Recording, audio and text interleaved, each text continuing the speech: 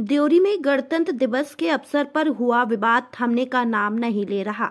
अब मामले को लेकर कर्मचारी संघ के बैनर तले, जनपद पंचायत के एवं राजस्व के कर्मचारियों ने देवरी एसडीएम को एक ज्ञापन सौंपा है। सौंपे गए ज्ञापन में कर्मचारी संघ ने उल्लेख किया है कि गणतंत्र दिवस के अवसर पर देवरी के ऐतिहासिक किला मैदान में आयोजित राष्ट्र पर्व के कार्यक्रम के दौरान असामाजिक तत्वों द्वारा जनपद के कर्मचारी मदन दुबे के साथ अभद्रता की गई थी, जिसको लेकर समस्त कर्मचारी संघ में रोष व्याप्त है।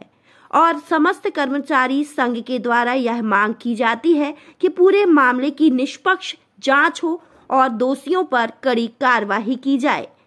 एवं उन्होंने मांग की है कि शासकीय कर्मचारियों को सुरक्षा प्रदान की जाए। ज्ञापन देने वालों में समस्त पंचायत सचिव कर्मी रोज़गार सहायक पटवारी उपयंत्री कोटवार कर्मचारी शामिल हुए। छब्बीस जनवरी के कार्यक्रम के दौरान हमारे जनपद पंचायत देवरी पदस्थ मदन गोपाल द्विवेदी के, ऊपर कुछ आसमायिक तत्वों द्वारा गाली गलौच और मारपीट की घटना की गई है। उसके लिए उसके संबंध में समस्त कर्मचारीगण सचिव संघ और जनपद पंचायत सहायक सचिव संघ और शिक्षा विभाग से कोटवार संघ पटवारी संघ सभी ने मिलकर ज्ञापन दिया है कि कर्मचारी सुरक्षा के प्रति सरकार जवाबदारी करे और जितने जो भी लोग फरार हैं अभी उनको गिरफ़्तार कर गिरफ़्तार किया जाए।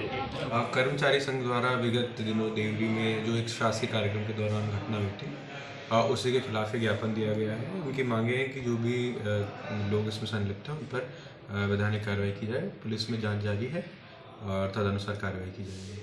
सर लगातार ये मामला तूल पकड़ता जा रहा है ज्ञापन भी दिए जा रहे हैं। अभी तक क्या कार्रवाई जो भी हमारे इस पे पुलिस के पॉइंट से जाँच जारी है और कुछ पे एफआईआर भी दर्ज हुई है जिसे नामजद लोगों पे। और गिरफ्तारी भी की गई है। बाकी जो भी शेष है वो जाँच जारी है तो तदनुसार कार्रवाई